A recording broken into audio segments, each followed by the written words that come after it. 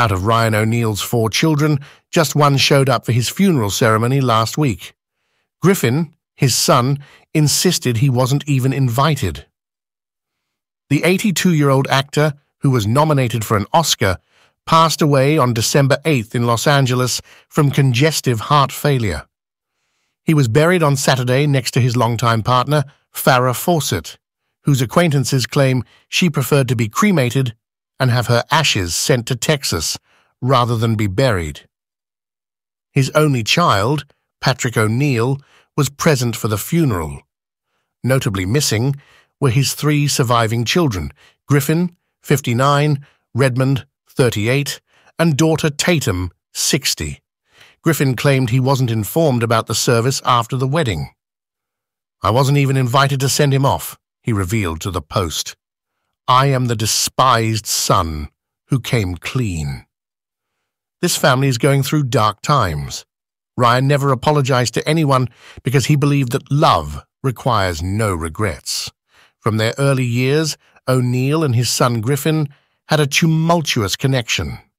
Griffin stated, My life has been a reign of drug and alcohol degradation in a 2015 interview with People.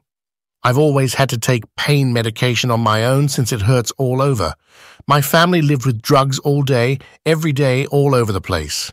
Griffin previously claimed that when he was just 11 years old, his father gave him cocaine in a 2009 interview with Vanity Fair. He was a narcissistic, violent psychopath. He becomes so enraged that he loses all control over his actions. Additionally, Fawcett's pals informed the New York Post that she preferred to be cremated and have her ashes repatriated to Texas rather than be buried in Los Angeles.